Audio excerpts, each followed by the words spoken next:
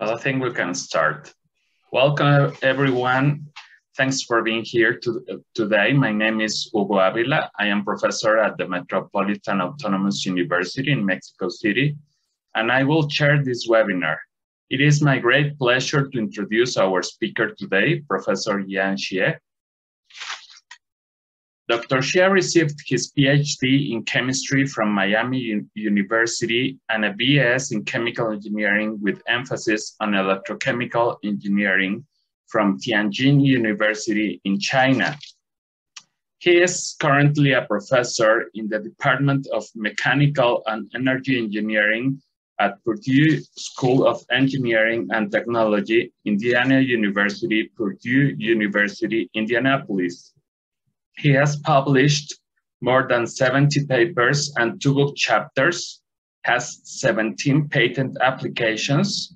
He has been a reviewer for major journals, including Nature and Science.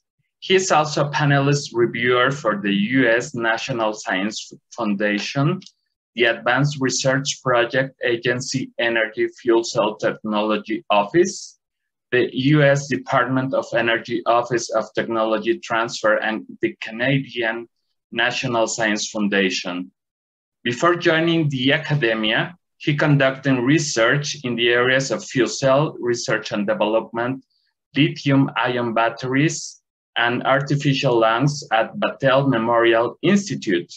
He also worked at Cabot Corporation, Los Alamos National Laboratory, he developed electric propulsion systems for, for electric vehicles and hybrid electric vehicles at General Motors Advanced Technology Vehicle Center. Today, Professor Xie will give us the presentation Striking the Core of PEM Fuel Cell Performance, Engineering the Ionomer Catalyst Interface. Thank you. Yeah, thank you for the nice introduction. So please let me do let me know if you now you cannot hear me well. Okay. Um, so my topic is about the uh, ionomer and CAS interface. Okay. Um, so this is my you know uh, presentations uh, uh, outline. So I'm going to talk, talk about the brief background, the challenges for uh, you know polymer electrolyte uh, membrane fuel cells and approaches we're taking. Uh, so uh, engineers ionomer and the catalyst interface. Uh, so if I still have time, I may touch a little bit about graphene supported polymer catalyst and some conclusions. Okay.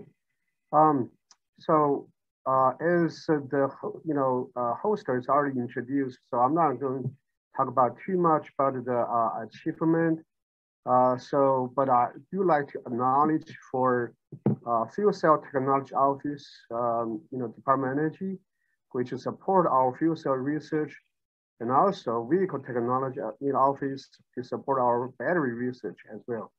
Uh, in addition, so U.S. Navy uh, support us for lithium-ion battery safety. Uh, the National Science Foundation, General Motors, Louisville, it also provides the industry grants for us to do some um, uh, hydrogen storage and uh, uh, battery separators work, okay?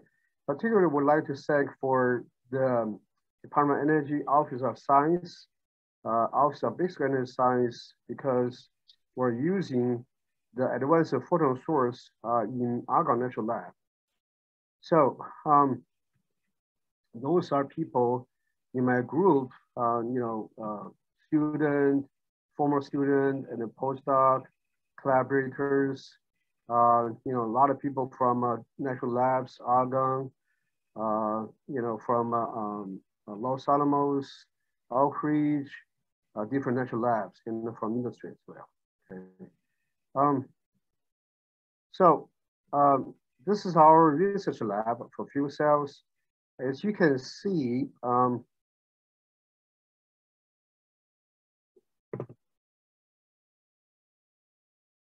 Uh, I have a uh,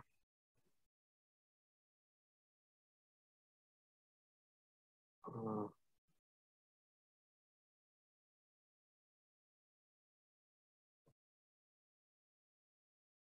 so this is a, uh, can, uh, can anyone see my cursor or?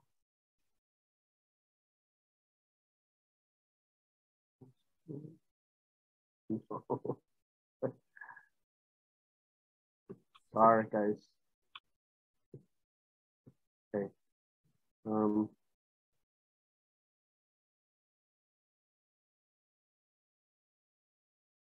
mm, Ready, we are seeing your presentation.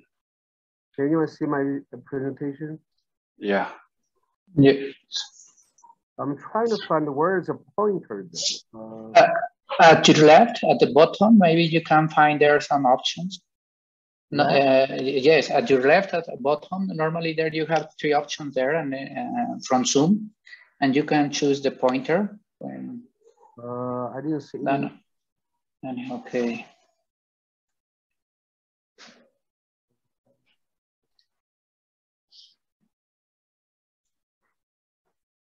Huh.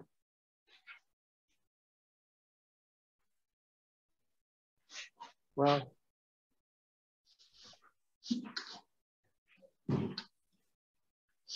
I need to see those. Huh. Okay, anyway, so uh, forget about that. So, um, sorry guys. Um, yeah, so this is our research lab, and you can see I have five fuel cell test stations, which can test the membrane electrode assembly MEA. Uh, and also I have a, um, um, this is a, a, BET. We also have TGA in our lab. Uh, so then uh, we have a bunch of battery cyclers and all stuff. Okay. Uh, this is uh, um, my research portfolio.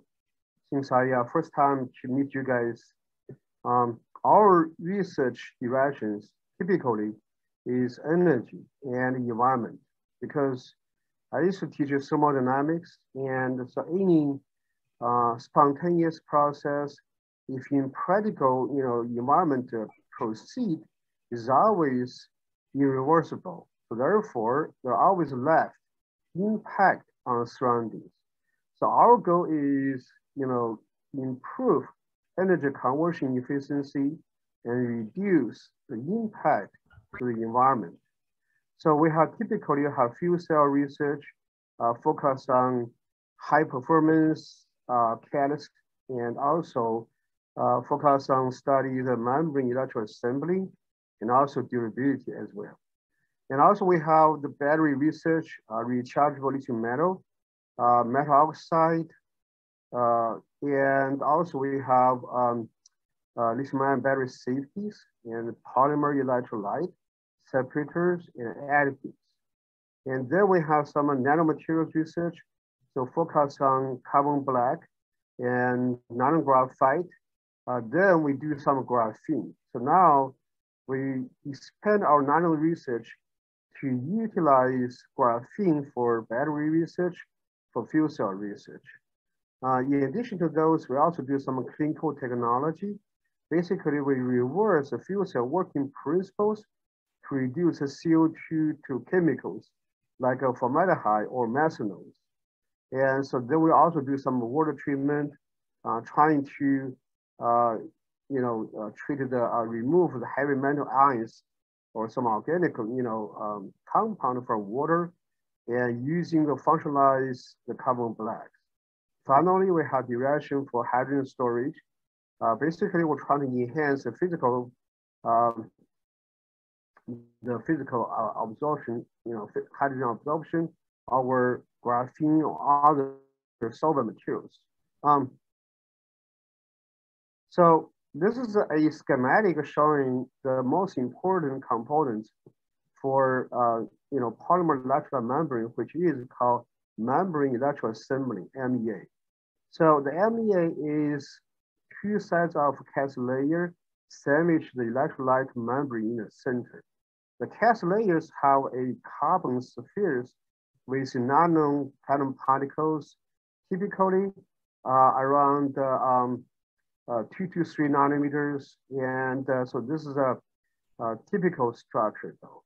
Uh, because I'm working on fuel cells for more than 25 years, I cannot tell you everything. So I just give you some uh, briefly something to let you feel or flavors about our research on you know fuel cells.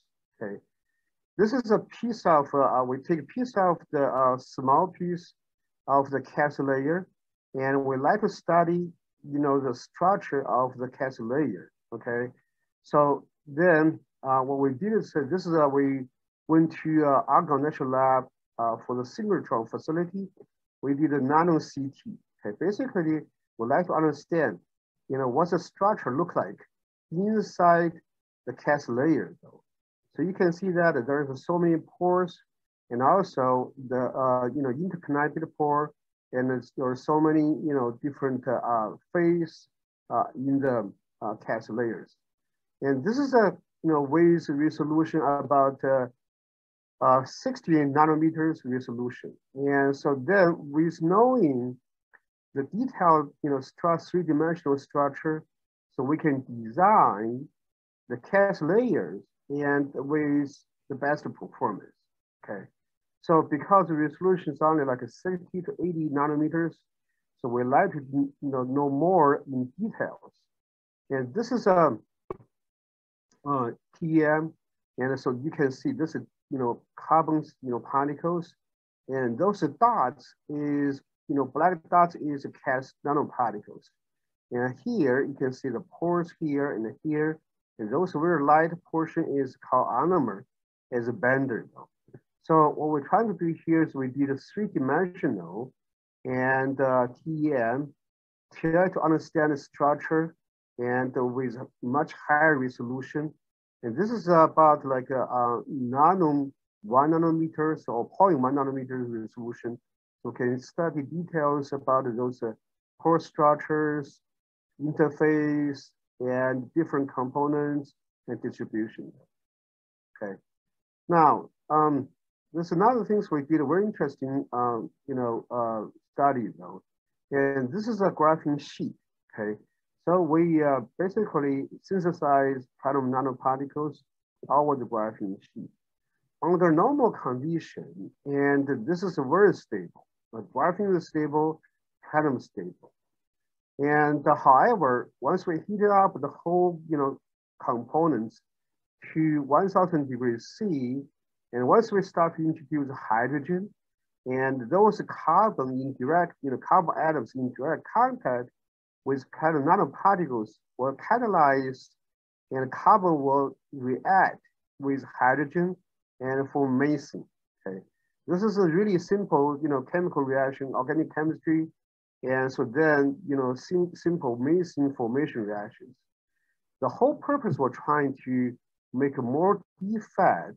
So then we can be, we'll be able to using defect, you know, graphenes to observe hydrogen molecules over this. So this is easy to see, right? So then, uh, this is a kind of like a three dimension, I'm sorry, this is a kind of an in situ TEM. This is a platinum nanoparticles about the seven nanometer length, okay? So my good friend, Eric Stach, uh, who now is in uh, you know, University of Pennsylvania. So he helped me get the um, in situ TEM. So we heat it up to uh, 1000 degrees C and you know, in a TM chamber, introduce hydrogen. Once we start hydrogen in, and so then the particles start to tumbling. The reason is because all the you know carbon direct contact with you know platinum nanoparticles will be catalyzed with react with hydrogen form methane. So then will be escaped. Okay, so then the carbon be each out in the front, and so leave, leave all those the um, trenches for uh, defects for the graphene. Yeah. So this is a kind of giving you a little bit the flavor what we did for some nano, you know, nano uh, research for that. Uh, this is another one because I don't have time for the battery research to uh, present to you. And this is one of the work we did, the very interesting work. So basically this work is trying to solving for lithium dendrite formation, okay? In normal case, if you have a lithium metal, right, it's anode, and a cathode separator, right?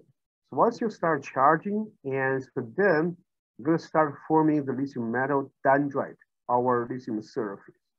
And with the cycles going on, uh, the dendrite started growing and growing. And so then eventually penetrated through the separator and finally touch with the cathode and cause the battery shorting, uh, fire, smoking, and all safety problems. This has been this has been long-standing challenge for lithium metal used as rechargeable battery anode. So what we propose is this. So we know the dendrite is always going to grow, right? So instead, you know, try to stop growing. We're trying to control the growth direction. So what we do here is basically we're coating the separator on the side towards to the lithium metal with the uh, you know functionalized non-carbon black okay particles. So then, and also this uh, you know layer carbon layers electrically connected with the lithium metal, and so therefore they have equal same potential, the same potential as lithium metal surface. So once you start to charging, and the dendrite start from a grow from bottom and also from a top. So the the grow once with charging towards each other, eventually they're going to touching with each other. So the driving force for the you know lithium dendrite growth is a potential difference from the base and to the peak, you know, peak. Okay. So once they touch with each other and it's going to short, right? So then you know potential becomes the same. So then they're going to start you know grow horizontally and eventually it'll form a dense pack lithium metal layer. Okay. Um, you probably ask me, this is easy to see, right? How do you know this is as you know you design? So what we did one thing is we did the in situ TEM. Basically, we coat uh, lithium metals on both copper and gold electrode. Okay, so then we take this one to shortly, briefly expose to the air. So they're gonna form a lithium oxide. So lithium oxide will be served as a solid electrolyte. So then we coat the, you know, the, um, the carbon layers over here. Then basically from this direction to see if the lithium dendrite grow from this side and from a carbon coating layer as well, okay? And here is the results. You can see the lithium dendrite grows from bottom, and also lithium dendrite grows from top down. Okay, you can see here, right? So this is exactly from top, bottom up and top down. So this is really showing you the the dendrite growth. It is controlled is redesigned. Okay, uh, this work was published on Nature Energy. So it was 2017. Yes, 2017. yeah. All right, so now, um, so maybe I'm not sure how many how many of you guys know about the fuel cells, and uh, I'd like to share. This is a, a, a animation show you how the fuel cell works. And so generally speaking, so hydrogen from a storage tank and air from a compressor, sent to fuel cell stack. So in the fuel cell stacks, we have many single cells, and each single cell consists of uh, the flow field on both sides which distributes the hydrogen and air on the other side. So in the centers, you know, we call the membrane electron assembly. Hydrogen will be oxidized on cathode anode layers and become proton and release two electrons and electrons go through external circuit driving a load. The proton will transfer through membrane to the cathode side meet with oxygen and form the water. So as long as you continue provide hydrogen and air, the fuel cell stack will continue to generate electricity. Okay, and this is really um, the structure I was just briefly mentioned about it. Both side anode and cathode is a porous catalyst layer. Okay, the plasma nanoparticles serving as catalyst set on the carbon sphere. And the red threads represents anode bender which bend all those particles forming a porous layer, okay? And so the membrane is basically called fluoridated um, sulfur acid polymer electrolyte. It's basically Teflon backbone with side chain SO3 functional groups. And so then this is a form of a uh, reverse micelle structures and SO3 groups on, on the surface and uh, you know hydrophobic backbone, Teflon backbones inside. Okay. All right, so this is a, uh, you know, we see the structure of the ionomer, uh, I mean the ionomers, uh, you know, in the using the uh, TEM, and so this is a typically like this.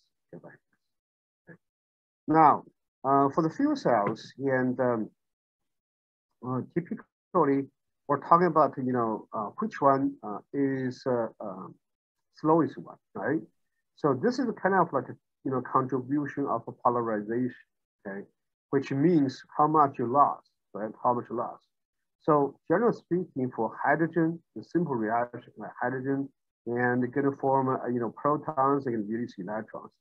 This is oxidation reactions, you know, very, very fast. Typically, even we go, it's like a, you know, two amps per square centimeters, and it's only about like a 40 millivolts loss. Okay. However, for the oxygen reduction, oxygen reduction, even with very small current, you know, roughly one milliamps per square centimeter, you already see about 400 millivolts to voltage loss. Okay. So this suggests the oxygen reduction is much slower, much, much slower than the, you know, oxygen reduction. Okay, so therefore, the fuel cell research is really not focused on, you know, hydrogen side. It's really focused on the oxygen side.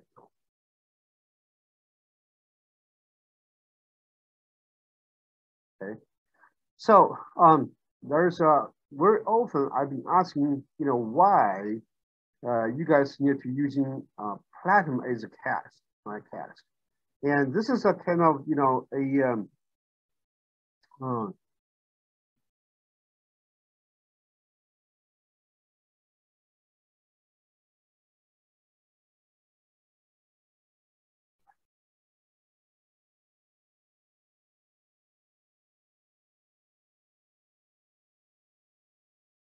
So this is typically what we're using for is um,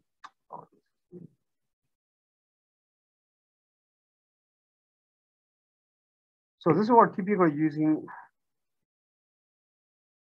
is uh, the um, you know exchange current density I zero, which is kind of like a reaction constant to measure a how a reaction uh, inherently how fast reaction can go. Okay, so if you look at this, right, for uh, different catalysts we're using, platinum, palladium, ruthenium, iridium, and gold, for oxygen reduction reactions. And the, you know, the first one is, so for uh, oxygen reduction is platinum, okay, 10 minus 10. However, you look for hydrogen ox, you know, oxidation reactions, and so relatively speaking, it's much faster, 10 minus 3. Okay, there's about like a seven order magnitude difference between anode and the cathode. Okay, anode cathode. So we have no choice and how to you know use the you know platinum as a catalyst, as catalyst. So the approach for the catalyst, you know, and for now is either you can increase platinum utilization, right, or develop the platinum alloy, or last one is develop the uh, non-platinum cats. Okay, so um, you know the challenge for you know this right is how to increase the cats you know utilization, right? Cats utilization. And so here's a you know challenge we have. Typically, uh, we develop right. We develop you know a lot of catalysts, and uh, typically we're using called the rotating disk electrode to characterize the catalyst performance right? So call inherent catalyst performance. You can see this, right? So we uh, the catalyst, you know, in some new catalyst, like you have a nine time higher mass activity compared to the normal platinum over carbon, you know, accelerated tube, okay? But with the platinum nickel and, uh, you know, alloy catalyst. Now, the problem is um, we those tests into the membrane electrode assembly, and we didn't see that improvement. So we didn't see nine time improvement. So the problem is we only see less than 50% we can realize in the MEA. Okay, so this is a problem you know, for long you know, standing challenge for fuel cell research and development. How do we transfer the significant you know, breakthrough on the catalyst development and into the MEA performance, okay, the MEA performance, okay? So uh, the, the challenge for us is because we think, okay, so in the RD, you know, rotating disk electrode and in that catalyst layer, so each catalyst, you know, individual catalyst particles is a fully exposed to the liquid electrolyte, okay? So therefore, all the catalyst particles will be utilized, participate in the oxygen reduction reaction. However, in the, you know, a layer in the MEA, and because we're hardly using the ionomer benders, you know, some of those be covered, and some of those not. So if the cat is not covered by ionomer, and so therefore there's no electrolyte, and so therefore those catalytic particles will not be participate in the oxygen reduction reaction. So we think this is a you know interface uh, interface between the the catalyst nanoparticle and the ionomer and the interface is the critical role for determining the MEA performance. As you can see on the back side, that of the platinum particle, that portion of platinum nanoparticles is covered by the ionomer. So the proton can transfer through ionomer to this side, and electron can go from carbon to platinum nanoparticles to reach by this side, and also oxygen can flowing down. And so then those proton, electron, and same times, you know, reach the same site and simultaneously can produce the water, okay? Um, so this is therefore the interface and really determine how the performance of the MEA. You can imagine that, so this portion of the catalyst surface will not be utilized because there is no ionomer cover on here. So imagine that if this particle is fully covered by the ionomer in this half of the catalyst surface will be utilized. So then the performance will be doubled, okay?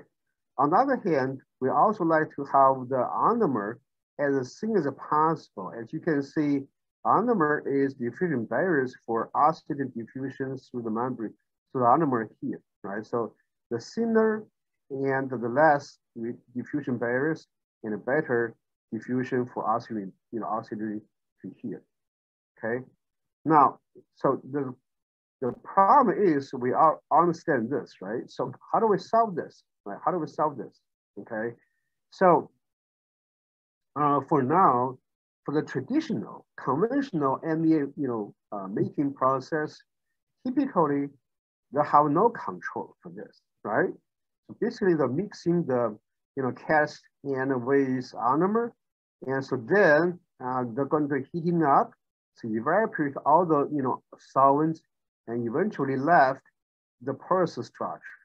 Because there's no control, so then the ionomer will be precipitated, you know, precipitated out from the solvent, right, from solvents.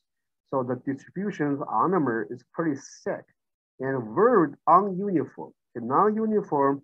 And uh, so then you can see quite a large areas of the platinum particles cannot be utilized, okay?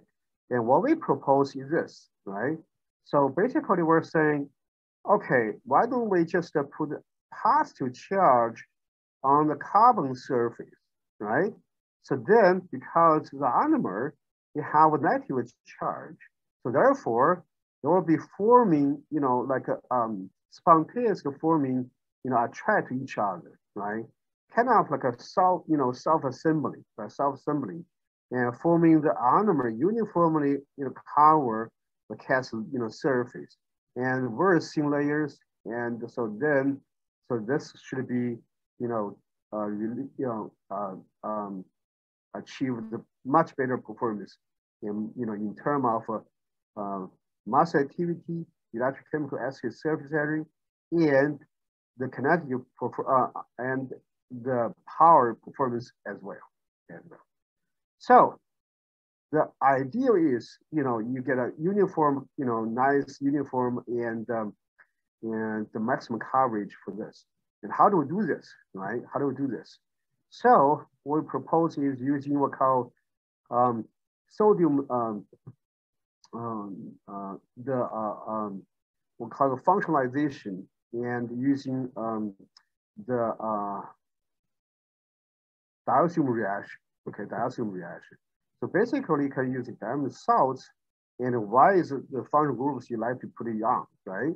So then through the bio, you know, diazonium reactions, you basically, you know, implement or covalent bond the Y groups to carbon surface, to carbon surface.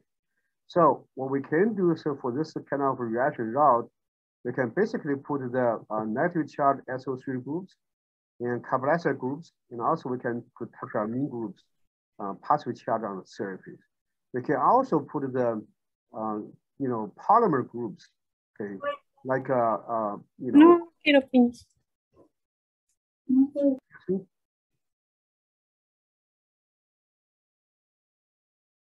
So we can also put the polymer groups like, uh, uh, you know, poly, uh, poly uh, tetramine or uh, polybenzene PBI, or those. Excuse me. So this is a kind of showing you after functionalization, how that will affect the surface property. And this is a carbon black and uh, it's a control, it's a baseline. So it's a pretty hydrophobic. Just put the water. And this one is the SO3 functionalized. And so this is a very, very hydrophilic. You can see it's a salt disperses so well in the water. And this one is highly hydrophobic. Highly hydrophobic. This is down the top of the yeah, so then he's going to seek out these balance. You can see some of those will be dispersed. But, you know, after like a 10 minutes, you can set it down on the bottom of the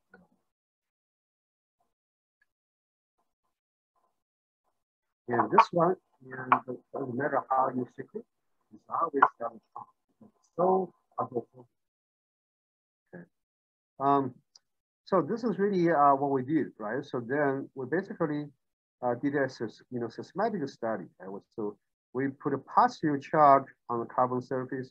We also put a negative charge on the carbon surface.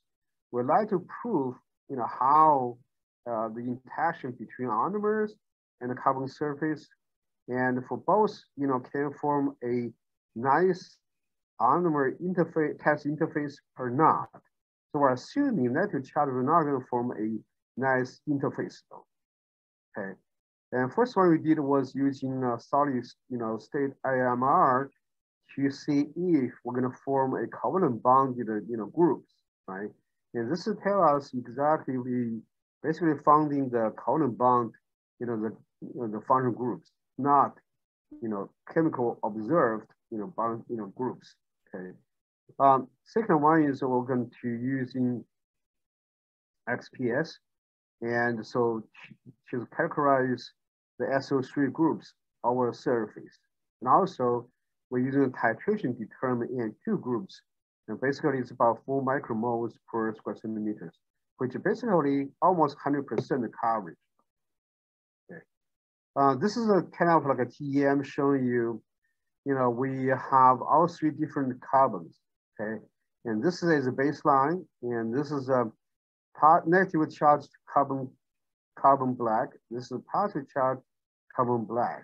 And we're trying to control all the calcium nanoparticle size as close as possible. So we can, we want to exclude the particle size effect on the performance of the MEA, okay?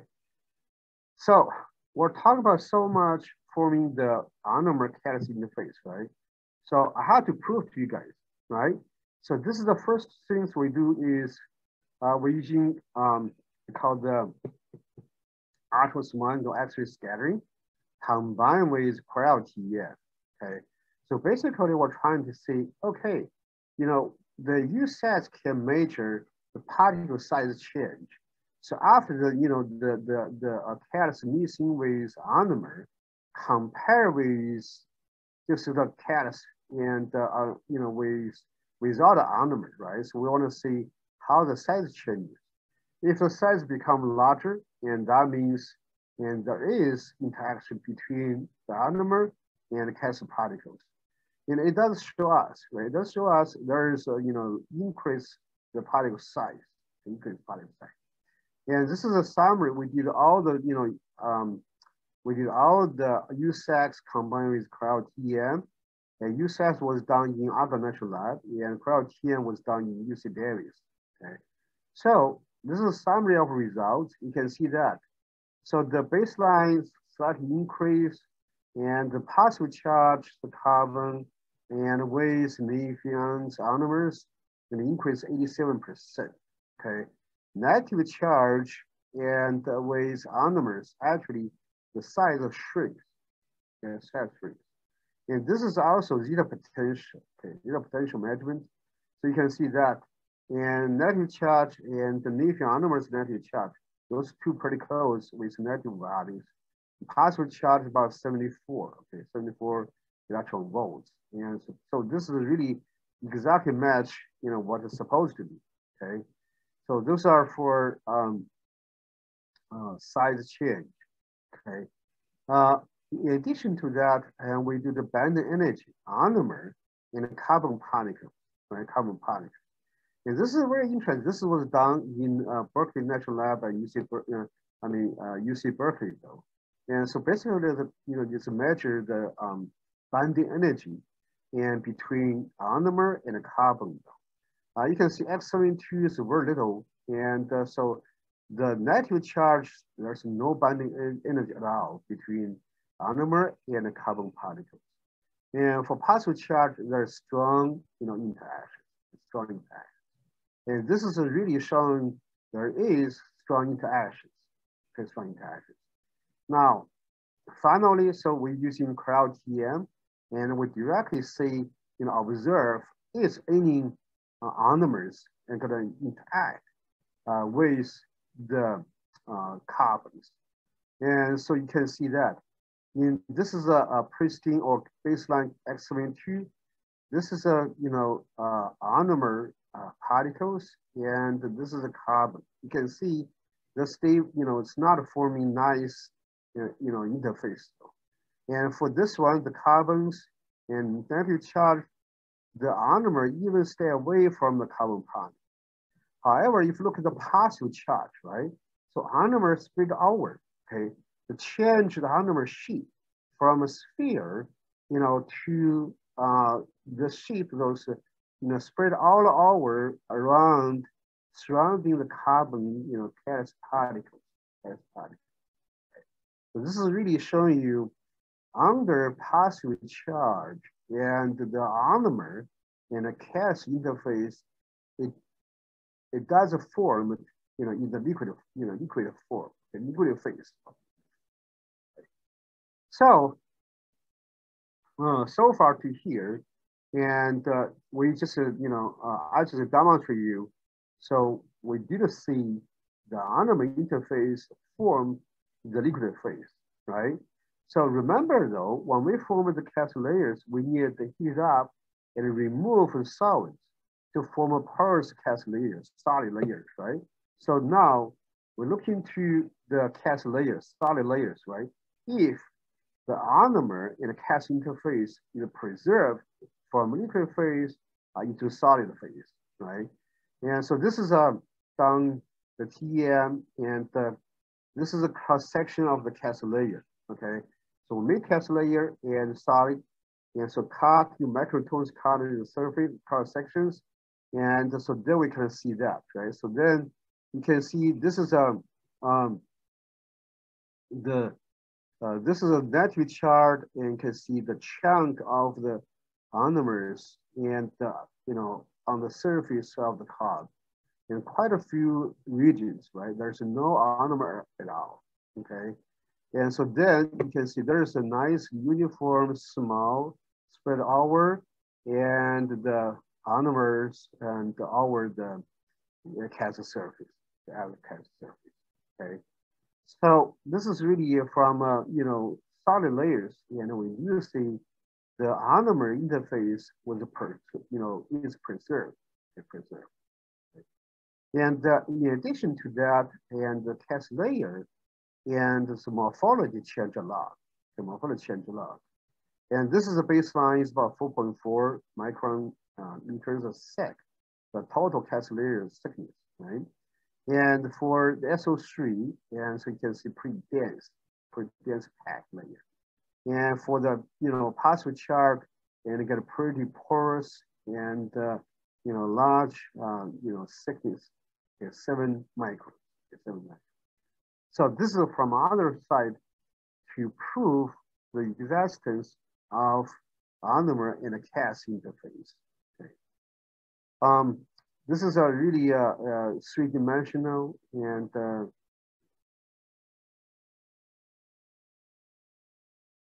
uh TEM.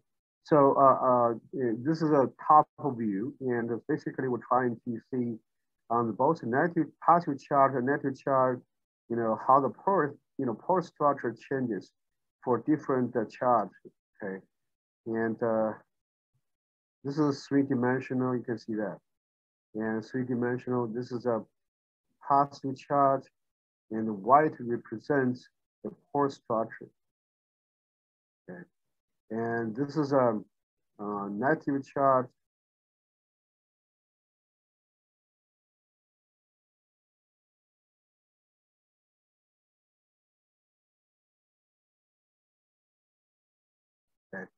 And this is analysis for mercury precipitators. And so you can see that uh, for the, you know, blank SO3, negative charge, positive charge, and the blank, you know, the, the positive charge have highest core volume, okay?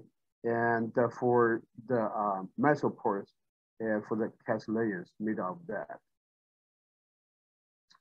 Uh, another thing is we compare, and this is called the electrochemical active surface area, which is measure of how much, you know, the ionomer cover on the catalyst surface. You know, obviously SO3, this is a non-uniform or less covered, it's only 21. And the, you know, the positive charge is about 70, about 70. So this is really show, you know, for using charge attractions, you can build the uh, you know ionomer catalyst interface. Okay. Finally, uh, this is a catalyst uh, MEA performance, and you can see that. And this is a blue line is SO3, and so you have torus performance, and the red line is positive charge. Okay. So in terms of mass activity and uh, current density, um, and the power density and all the positive charge, all the perform, you know, the negative charge as well as the control is baseline. Um, finally, so there's another thing very important, right? Since we're talking about the ionomer and the, the the thin film ionomers is serving as the proton conductor, but also serve as oxygen diffusion barriers. So therefore, the thinner will be better for the performance. So this is what we did. So we're basically using linear current density, you know, technique to study, you know, how thick the ionomer will be. So this is a, you know, measure on the different RNH for linear current density. And uh, so then, uh, so then based on that, and we did a bunch of calculations uh, using the you know, uh, different uh, uh, uh definitions and eventually what you get results is, so the, the effect of, you know, the, you know, ionomer thickness, right, for the, the positive charge is about a 2.66 uh, nanometers sick. And so then the positive charge ionomer film and to the uh, negative charge ionomer film is ratio is about, you know, almost 13, 13, okay? which means the negative charge, you know, the ionomer, uh, the thickness is about 13 times thicker than the positive charge, you know, ionomer. Okay? This is a well explained why the performance, fuel cell performance is so bad and for the um, for the negative charge, okay, negative charge the test, okay. Um, so this is about the ionomers. Um, uh, so this is another, um, you know, uh, new uh, research we're doing now is basically we're trying to using the functionalized, you know, carbon blacks and uh, put those positive charge, try to guide the position of the platinum nanoparticles. So make them more uniform, them uniform. And this is a platinum uh, cobalt. And so um, you can see that. And so this is a showing excellent performance and platinum cobalt with positive charge in 0.2 milligrams and uh, showing, you know, uh, very good performance and very stable, okay?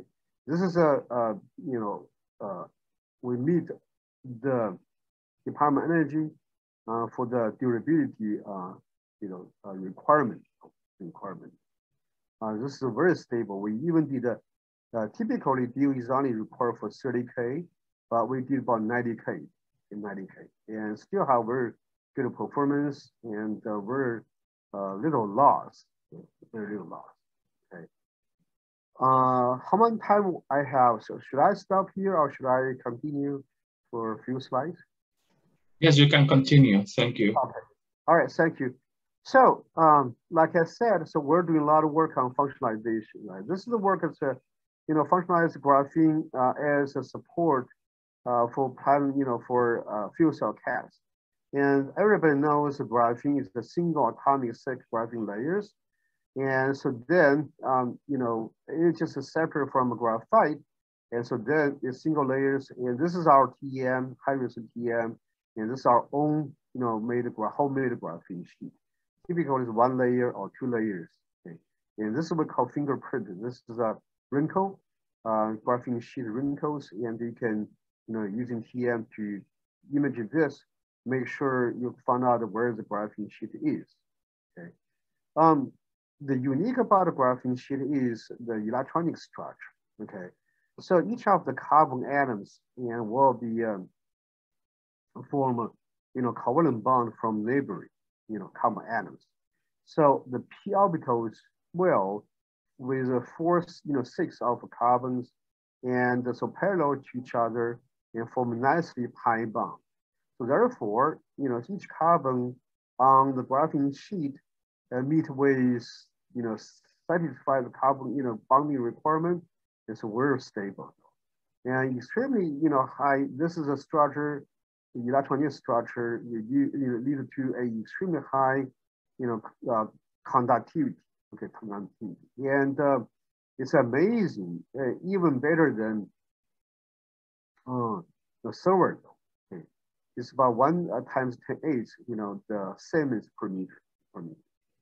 Um, so um, the problem is to utilize the graphene sheet is the catalyst support. So we have problem with number one is highly hydrophobic, okay? Number two is going to be restacking. So when you're trying to remove the water out, you know, from graphene dispersion though, it's so easy to get it back to the, you know, graphite state, okay? So therefore, so it loads, complete loads the beautiful graphene's, you know, properties, in particular for high, you know, conductivity and high chemical stability. So the key is, you know, how do you prevent, right? How do you prevent this restacking to take place during the catalyst synthesis and MEA preparation, okay? So what we're trying to do is here we're using called, a, you know, spacer technology, okay? basically what we're trying to do is uh, we're trying to do here is basically, um, yeah. So uh, another benefit because if you put the, you know, the um, functionalized groups, right, like an SO3 group or COH groups, and it's going to transfer the proton, right, transfer proton, and so provide a surface, you know, proton trans, uh, transportation. And the second one, and the, the function groups on, you know, graphene surface help to improve the nanoparticles, you know, dispersion. On this side is non-functionalized, you know, graphene sheet. You can see the panel nanoparticles centralized, centered on the graphene edge, okay? And those are very few randomly dispersed over graphene sheet. Now, this one is a PBI function line. You can see the, you know, kind of nanoparticles uniformly dispersed of the graphene sheet. Okay, so um, uh, this is another one. So we did uh, um, what's called the um, uh, identical location TEM. So basically, uh, we take TEM image, right? So to observe, you know, those, uh, you know, relative position for each of those uh, nanoparticles. Then we take out the TEM grids and put the electrochemical cells and cycling between 0.6, 1.0 volts for one on cycles to simulate the degradation so then after that, so we put in the EM scope. And so then observe the relative, you know, position, uh, location change, okay? And so this is what we did, right? This is our SO3, functionalized graphene. And to begin with, you can see those three particles, yeah, your distance about 6.3 and 5.6. So this is after the functionalization, after the cycling, after cycling. And so you can see that. So this is the distance, um, you know, where we're uh, small, yeah, this is, uh, I'm sorry, I should take back. No. So after cycle, you know, cycling though, and the distance between those particles and become four point, you know, four nanometers. And so, you know, this is from 6.6 to four nanometers. And this is a, you know, SO3 functionalized graphene. And between here is four nanometers and here is 11. After cycling, and this is one still four nanometers and still 11 uh, nanometers, which means the SO3 you know, functional groups really help to uh, hold the nanoparticles over graphene sheet, our graphene. Um, so this is using XPS and uh, so the shift of the bending energy really suggests how much, you know, how strong the uh, nanoparticles on different uh, you know, carbon support. Right. Um, so the to prevent the restacking, so what we're using called the spacer technology. So basically functionalize the, you know, graphene sheet and also functionalize the carbon, you know, uh, nanoparticles. This is a be positive charge, this be negative charge. So therefore, once mixing them together in the in the liquid. And so then they're going to self-assembling from a three-dimensional, you know, the composite structure. And so this is really going to improve the performance, okay? And you can see that this is a comparison before and uh, the uh, using the spacer and so the, the almost no pore value. And so after you add the spacer and the red line so then his significant volume is showing up. You do build the channels between uh, graphene sheet. Right? And this is a, you know, P, uh, this is a, you know, fuel cell performance, and this is a hydrogen air, and this is oxygen. And you basically tell us there's still some, um, you know, uh, diffusion uh, problem, though, diffusion problem. And so then we realized because you know, graphene sheet, if a sheet too big, uh, we're typically using about like three to five uh, diameters, the graphene sheet. And the channels were long, so therefore you form a diffusion barriers. So if you can cut to the non-graphene sheet to 200, 300 nanometers, okay, this will significantly shorten the channels, improve the diffusion though. And you can see this is a pore volume change, okay? This is a, you know, normal graphene sheet, and this is a red is a, you know, non-graphene sheet, significantly increase the pore, you know, metal pore volume, okay? And uh, so this is really, uh, uh, this one is, uh, you know, the first one is only using SO3 edge, right? And uh, is the um, uh, no, um, no functionalized graphene. And this one using PBI functionalized graphene, which is positive charge and, you know, intact with negative charge. So we can reduce the diffusion uh, loss from 100, uh, 500 to about 250 and further increase to using non-graphene heat, they can further you know reduce to about uh, you know 160 uh, uh, you know uh, diffusion loss. Diffusion loss. So this is uh, how you can utilize graphene sheet and make the you know the graphene-based catalyst and for fuel cells. And we are the only group in the world we can make graphene based supported catalyst, you know, working the fuel cells. If you search literatures, right, there's a thousand papers talking about, you know, our graphene based catalyst, but only we have the, um, you know, fuel cell performance data in our publications. Okay. Um, so uh, I'm going to skip those. I think the time's running out. Uh, so I'm going to skip, and this is um, uh, we're working with Brookhaven National Lab and using our graphene sheet to develop a new catalyst from uh, platinum nickel nitride, which is much stable and, uh, and much higher performance though. So here's a conclusion and control ionomer interface can be realized utilizing the electrostatic attractions and constructing Russian design iono-attached interface leading to a significant uh, um, reduction on oxygen diffusion, achieving high mass activity my current density. In three-dimensional functionalized graphenes are good test supports and can be used for meeting all the DOE requirements, okay? Um, so here's the publications uh, for those work. And finally, and the future work. And uh, uh, I'm gonna stop here and thank you for your attention. And I'll be happy to answer any of your questions. Thank you, for Professor Xie, for this very interesting uh, talk in which you showed us some situations in which interfacers are key components for mass transport as well as from catalytic processes.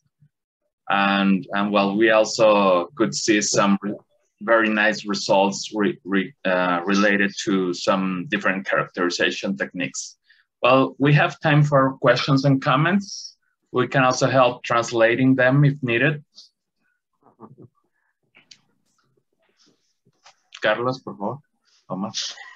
Thanks. Uh, thank you very much for the nice presentation. Really amazing, uh, this interfacial work you're working on. I, I, I have several questions, but uh, the main one is, how do you identify that it was uh, oxygen transfer resistance, mass transfer resistance, rather than other mechanism related, I, I don't know, the church transport or, or, or some mechanism related to the electrical double layer. You know, how do you identify it was oxygen mass transfer resistance and not other transfer mechanisms in, in the operation of the of the system? Ah, okay. Um, let me uh, very quickly uh, go through those. Um,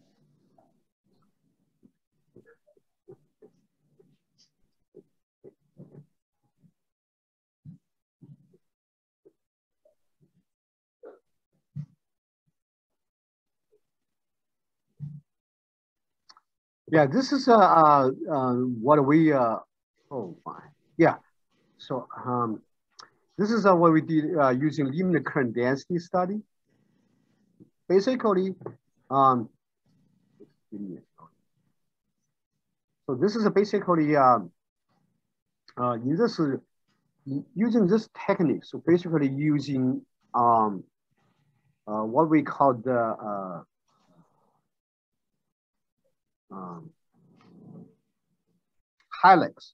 Okay, so basically this is a, a gas um, I think it's about like a, 5% oxygen uh, mixed with uh, helium, okay?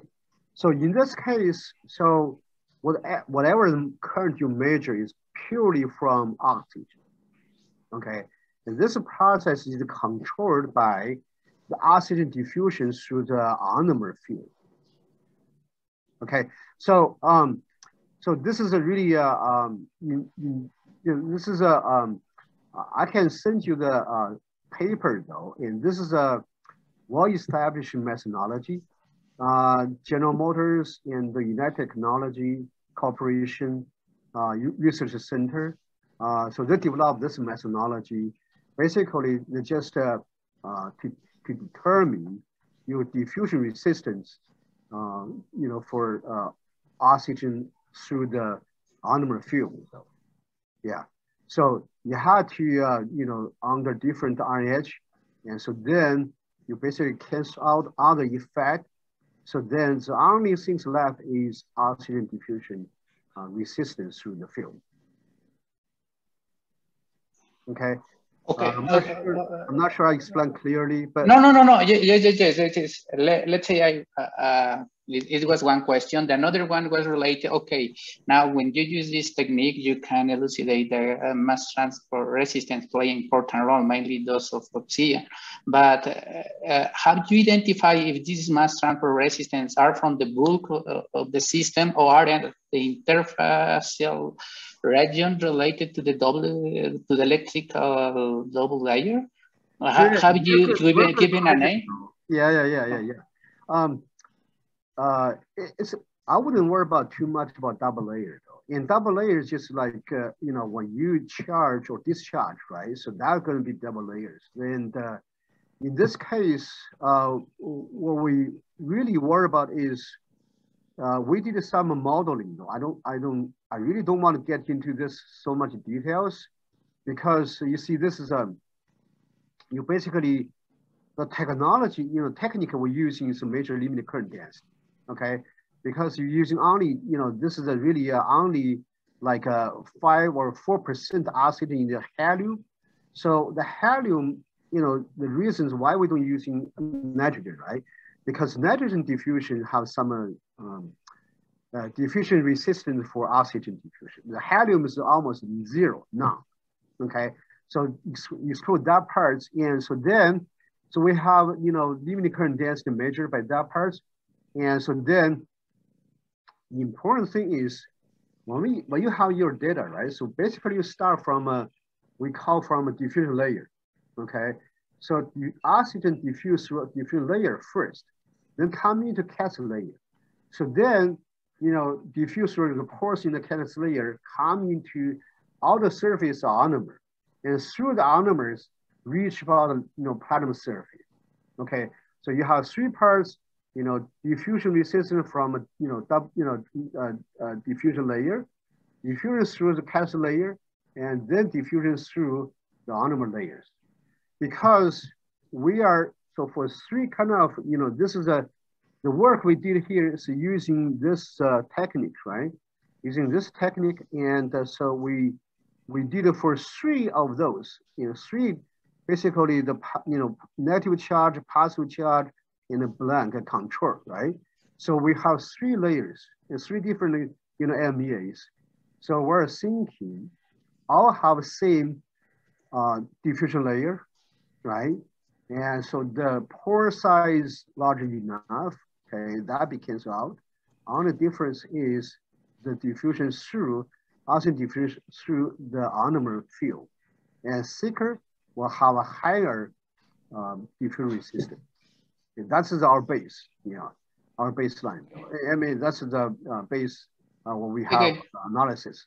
Okay, so you can have two different RH, so then you can figure out and uh, we call the effectiveness, you know, sickness of the uh, the effective thickness of the you know ionomer uh, thickness. Thank you. Thank you very much. Not a problem. Just send me email. I can send you the papers, and uh, if you need, uh, this is a voice type, of, you know, uh, uh, methodology. Thank you very much. I will mail. All right, thank you. Thank you.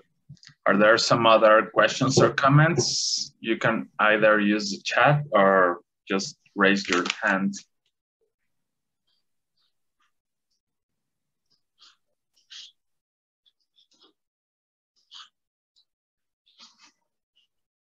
Well, you, you mentioned that uh, graphene is a hydrophobic material and the presence of water is important uh, for PEM fuel cell performance.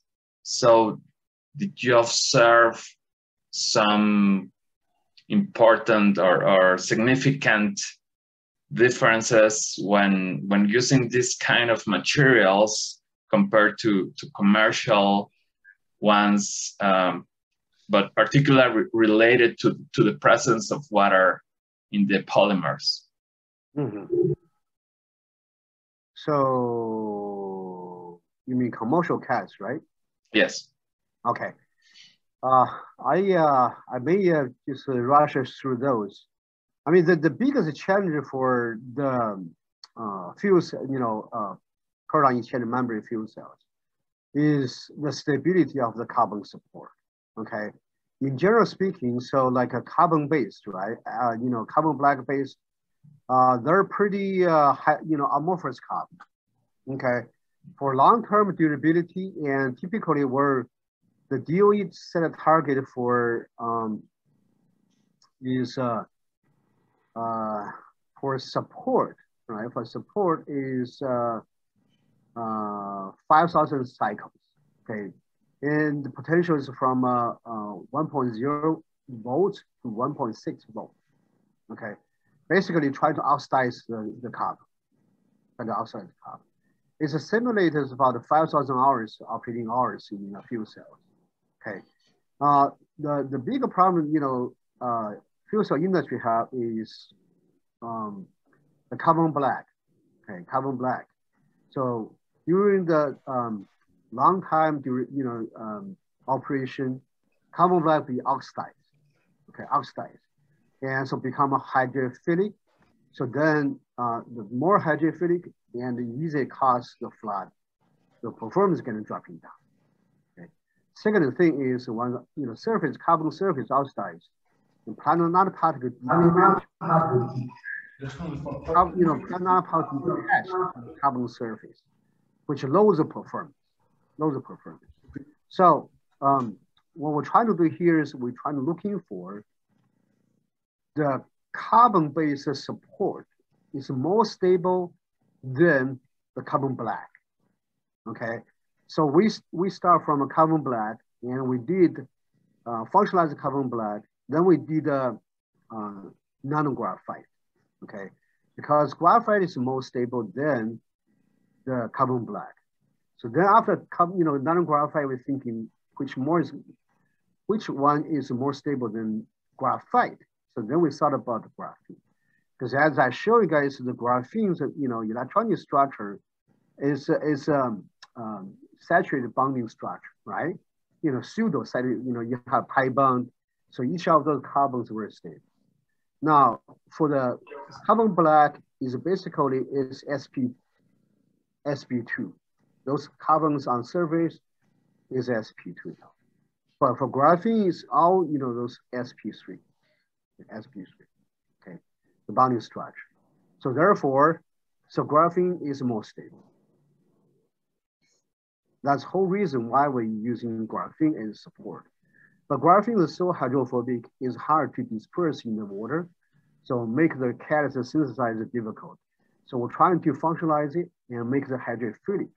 So once you can disperse in the water, then you can synthesize the catalyst. You, know, you can put it a load of the platinum nanoparticle or you know, platinum uh, alloy nanoparticles on the graphene sheet.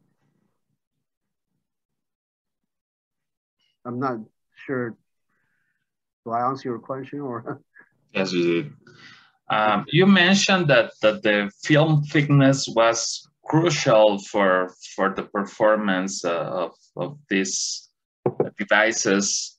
Um, have you tried some other fabric fabrication techniques? Oh yeah, yeah. We try a lot of different family techniques. Uh, I can uh, proudly say uh, our MEA technology is one of the best. So our MEA performance, com, you know, comparable uh, with uh, Toyota and uh, General Motors MEA performance under the same condition. Okay, so that, that you know you can think about that way. We are in academia, right? We're not a corporation. We're not a company, though. But our MEA technology even slightly better than theirs. Yeah. So we have to try all different ways. Now we're using spray dry. I mean, uh, the um, uh, spray coating method.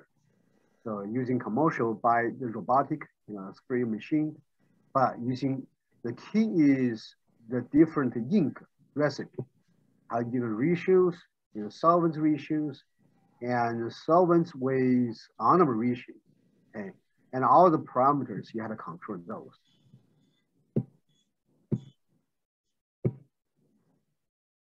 Thank you. Do we have uh, some more questions or comments?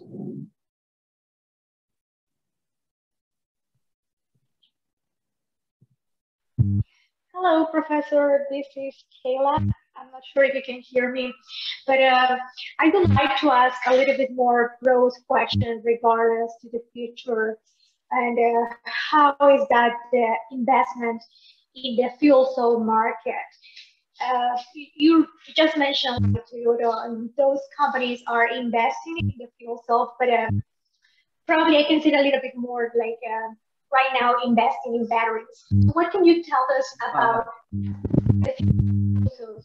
How from your general perspective? Uh, this is a this is a fantastic question though. I uh, I'm teaching this semester. I'm teaching fuel cell class. Oh, this is a really good question. Okay, I'm doing research on both battery side and the fuel cell side. Okay, um, I'll tell you a story though uh, I'm writing fuel cell proposal, right? And I'm saying, okay, um, the the battery, you know, uh, electric car, right? But just removing their emission from each individual vehicles to the power plant, right? So because when they're charging their vehicles, the electricity coming from power plant, right? So for now, our society is still built up based on the hydrocarbon, right?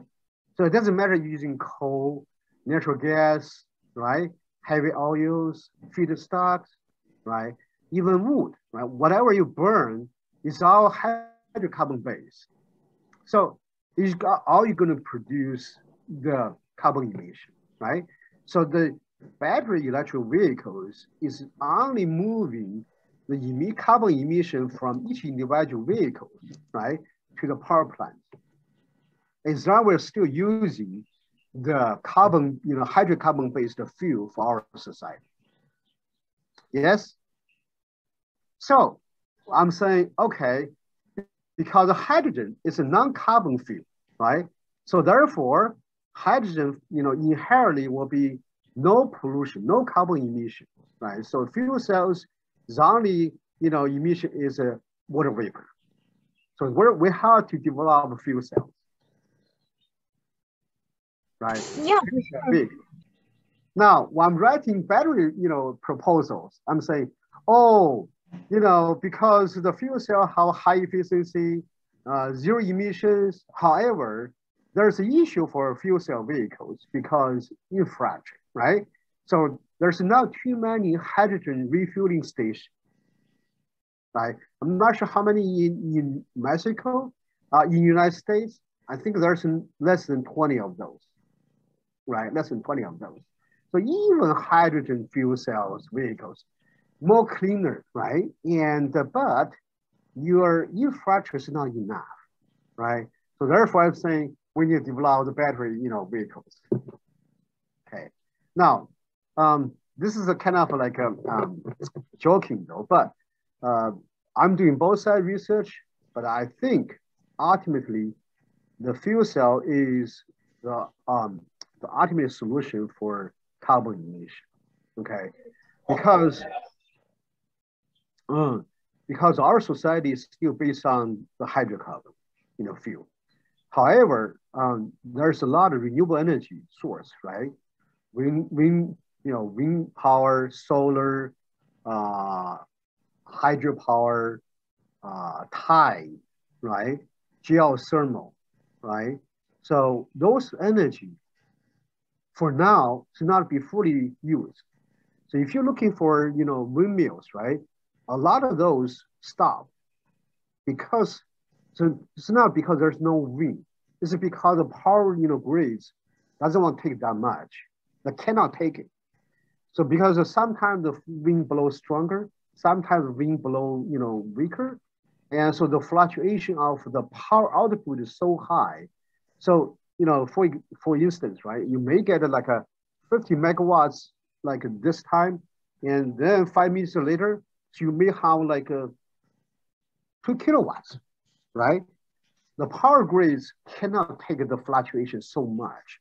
If that's input, it causes collapse of power grids. Okay, so for now, a lot of renewable energy be wasted. Okay, as far as I know, I think the, the static is saying only 10% of renewable energy be taken to the grid. Most of those wasted, right? Solar, when dark coming, right? When dark in, so there's no you know solar energy coming. Now, if you think about that way, if you electrolyze water, so doesn't matter, you know, what time, right? So when power is strong and wind power or, you know, solar power is strong, electrolyze water, you know, store the hydrogen as energy carriers, right? So you put energy into a tank. So when there's no wind or no you know sunshine, right? So you can use hydrogen produce electricity back to the grid to balance the you know the, uh, the energy you know, output. So I think the energy eventually will be a reliable source. I mean for hydrogen, and because hydrogen is no carbon emission at all. It, that sounds pretty good for the future of us people who are making research on fuel cells. But yeah, I was a little bit, uh, yeah, intrigued about that situation. So thank you very much, Professor. You're welcome. Any more questions or comments? Yes, we'll have one more here. For new young researchers interested in the hydrogen field, what would you recommend to focus on? Hydrogen production, hydrogen storage, or fuel cells? Yeah, this is a good question though. Uh, I, I would, you know, recommend or encourage you uh, for hydrogen production, and particularly for uh, electrolyzer water to produce hydrogen I think now it's a technology far from uh, mature though. I believe current efficiency is only in the range of 20 to 30%. This is a far low below to commercialize, okay? We really need to pump up this to say 90%, right? And think about that way, people talk about regenerative fuel cell, which means just like we take wind energy, right? Wind energy or solar energy in the daytime, right? So you want to be, the fuel cell system is a, a, a electrolyzer, right? But the efficiency is only 20%.